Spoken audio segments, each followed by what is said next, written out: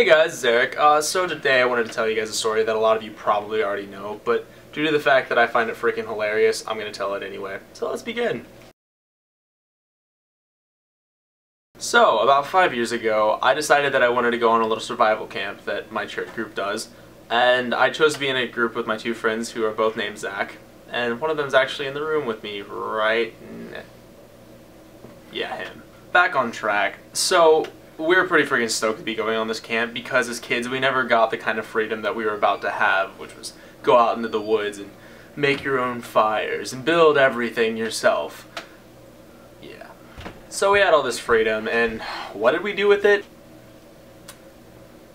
We squandered it. like, we squandered the crap out of this free. It wasn't just like normal squandering. I mean, it was just like, boom, you're, you're done kind of squandering.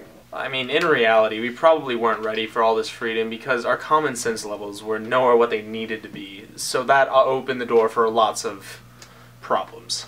Here we are as little sixth graders running around in the woods expected to be able to survive and not do anything stupid. Problem? Huge problem. If you guys know how dumb I am now, you can pretty much take that stupidity, multiply it by a factor of around 2000, you'll get a pretty accurate depiction of how stupid I was when I was in 6th grade. So after building our mediocre shelter and haphazardly throwing up our campsite, we had destroyed hours and hours of time, and by this point it was around 3 o'clock in the morning, and we hadn't eaten, so we all decided that we should make something. Well, I had happened to bring a can of beef stew, thinking that for some reason or whatever, it would make me more manly if I were to take this beef stew and just consume it straight out of the can. But Zach was like, oh no, we shouldn't just eat it straight out of the can, we can cook it. What Zach had proceeded to tell me was that he had heard from his dad or somewhere or other that if you dented the side of the beef stew can, you put it on the fire and waited for that dent to pop out, that when the dent popped out, it would be done. So, I believed him.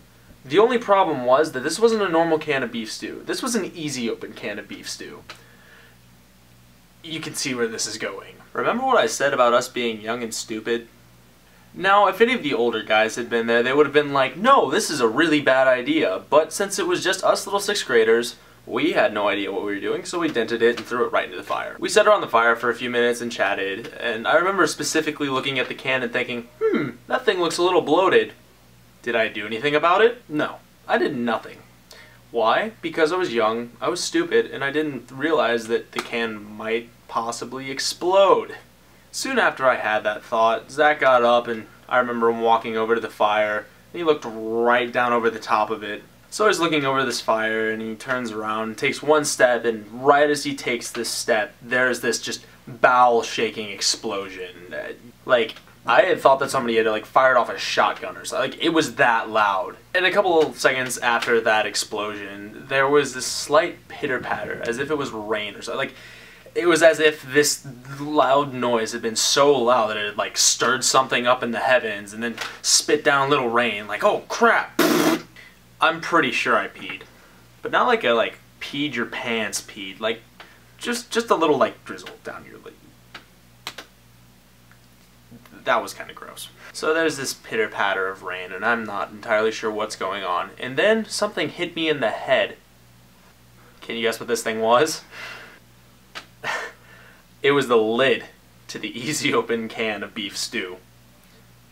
And suddenly everything just clicked in my mind and I was like, oh no. And I remember I looked over at the can of beef stew and what had happened was the can had exploded outwards and like there was nothing left in it. The, the rim was bent around. It was just...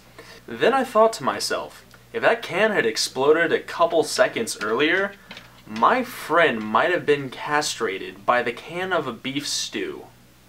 Like, I can just imagine how this conversation would go down in the future. Oh, wait, how did you become a eunuch? Oh, they were blown off by a can of beef stew?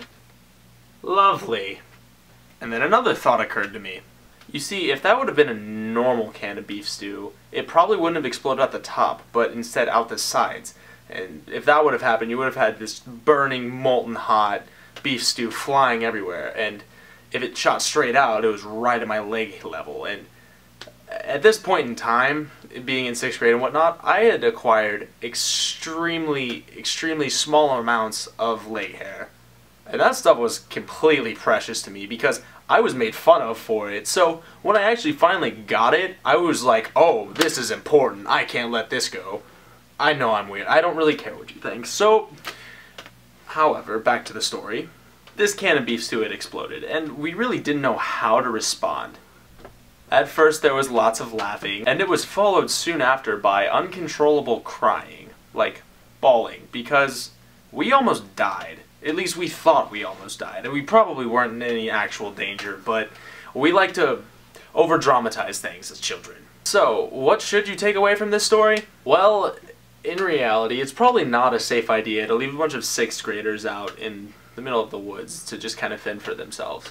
And don't get me wrong, I'm not like bashing on the church group or anything for being immature and like leaving us out there because they've done it years before and everyone else had been more responsible.